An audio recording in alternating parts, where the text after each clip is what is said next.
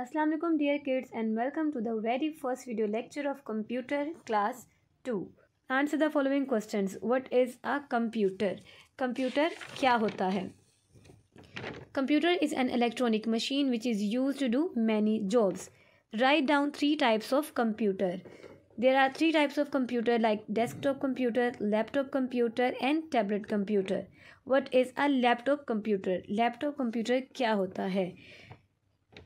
It is smaller than desktop computer. We can carry it anywhere. Write down three uses of computer.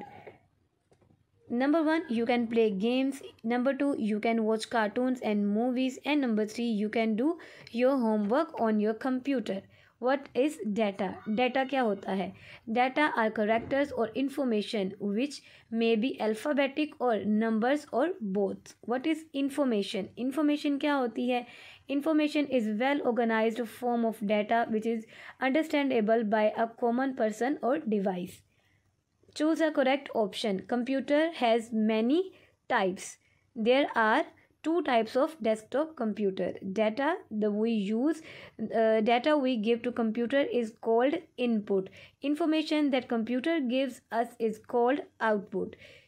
Laptop computer can be moved easily from a place to another kids laptop and tablet computer can be moved easily by uh, from one place to another its answer is both a and name the type of component these people use Umar works in an office. He uses a desktop computer. Ali carries his computer with him. He uses laptop computer.